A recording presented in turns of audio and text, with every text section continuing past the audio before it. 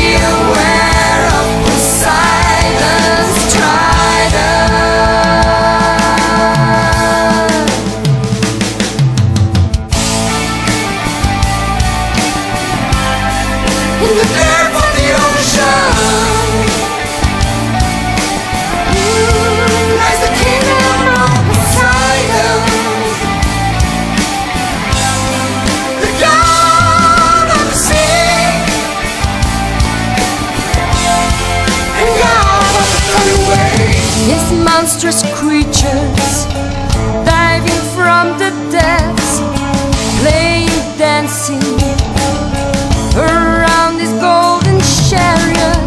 And with one command, they all stand in line, ready to be unleashed, ready to attack when it's high.